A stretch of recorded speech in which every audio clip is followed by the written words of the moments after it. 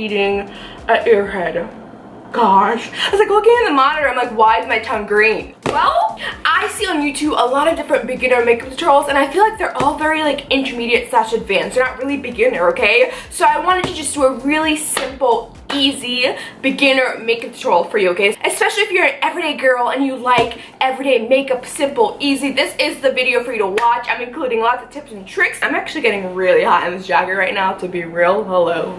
Hello, fashion. Fashion is real.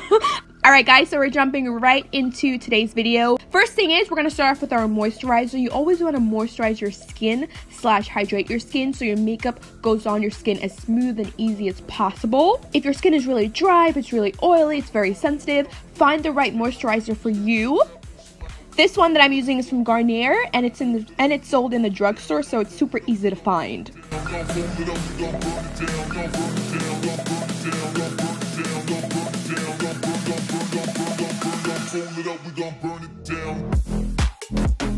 Second step is I would recommend for you to use a foundation, a BB cream, or CC cream. It's really up to you and the coverage you're looking for.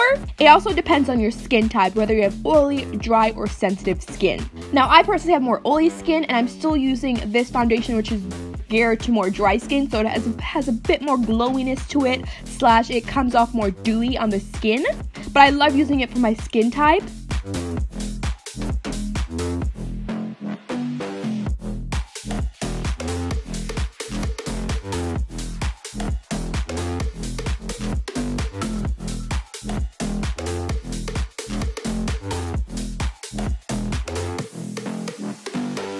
Then this third step is very optional. It's really up to you and if you got the desired coverage you wanted from your foundation. But I'm going to go in with a concealer. You can definitely use a concealer that's definitely, hello, less expensive, okay, okay, from the drugstore. Maybelline has great ones, L'Oreal, Wet n Wild, Collab, lots of different brands. But I like to keep that concealer really as close as I can to under the eye.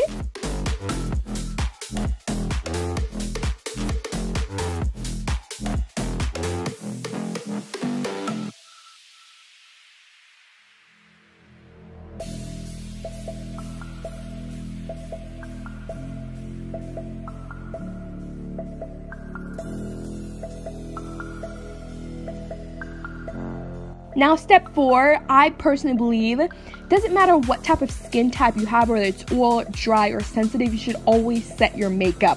So I'm just gonna use a light layer of powder.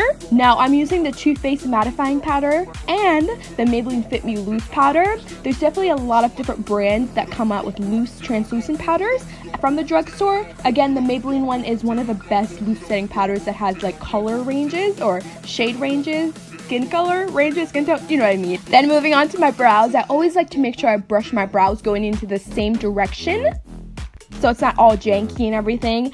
Then I go ahead and start filling them in. I start at the outer arch of my brows. Then I lightly go ahead and just fill my brows in at the inner corner of my brow. I'm very light in this area. I recommend for you to keep a very light hand. I can be really harsh with my brows. And after I finish filling in my brows, I always like to go back in with the spoolie area just to help brush my brows out so it looks very natural. And then I like to define my brows using concealer. Now again, I'm using the concealer that I use under my eyes, the Urban Decay one, and just applying it right under my brows and then blending it out. This will really help to define your brow and make your arch pop even more. Have you tried it before?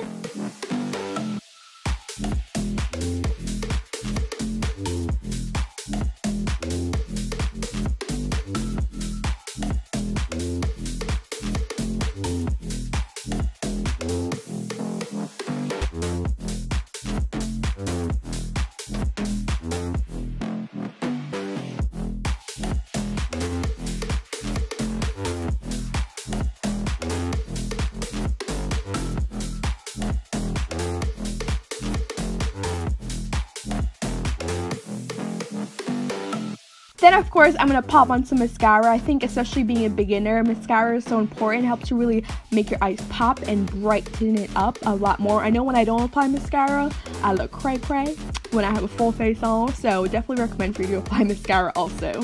One of my favorites right now is the Collab plus the Maybelline Big Shot Mascara together. Let me know what's your favorite mascara down below. I really actually want to know because I'm always like trying different mascaras because remember they they expire in three months, so always looking for new ones.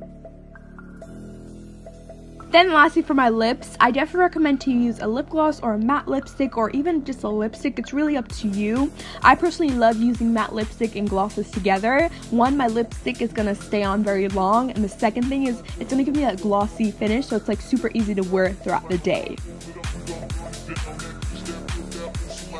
Alright guys, so this is the finished look today, okay? I feel like it's very like everyday beginner friendly. Like as a beginner, like I know I was not applying false lashes like every day. That was not happening. I was not trying out to do a wing liner. I was like scared to death honestly.